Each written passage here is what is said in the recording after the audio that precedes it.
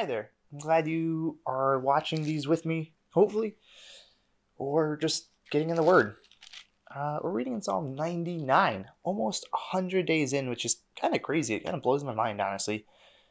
Uh, so let's read, let's meditate and delight in the Word. Told it to be true. Believe that. Believe that it is true, that there's a reason that what is in this book is in this book, that it's that's there for a reason, that there's something that we can get out of it each time that we read it.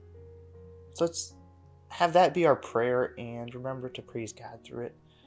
And so let's read. The Lord our God is holy. Psalm 99. The Lord reigns.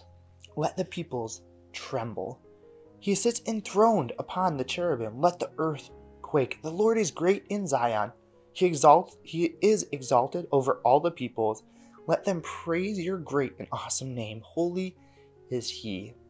The king in his might loves justice. You have established equity. You have executed justice and righteousness in Jacob. Exalt the Lord our God. Worship at his footstool. Holy is he.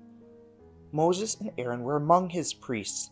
Samuel also was among those who called upon his name. They called to the Lord, and he answered them. In the pillar of the cloud he spoke to them. They kept his testimonies and the statute that he gave them. O Lord our God, you answered them. You were a forgiving God to them, but an avenger of their wrongdoings. Exalt the Lord our God and worship at his holy mountain, for the Lord our God is holy. It's so interesting to me how timely a chapter like this is. Today is election day here in the, in the United States, and ultimately it comes down to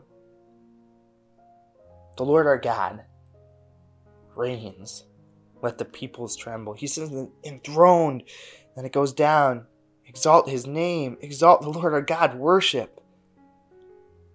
And I think that's a really, really good reminder on a day like today when many of us are voting for the next leader of, of this country to remember that ultimately the Lord our God is on the throne above above all else, right?